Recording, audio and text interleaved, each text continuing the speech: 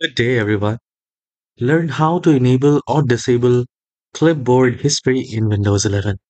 So, do a right click in the start icon and then go to settings and go to the second option, which is system.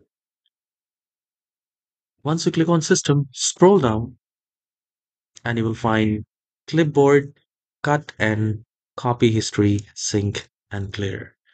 So, the moment you click on that, you will find clipboard history and you can simply turn it off or turn it on. You can also clear the clipboard data.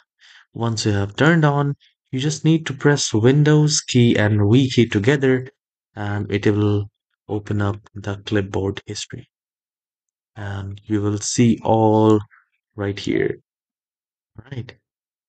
So you can also try that and do let me know in the comment section whether you have enabled the clipboard history. If you find this tutorial helpful, please hit the like and subscribe. I'll see you in the next tutorial. Have a wonderful day.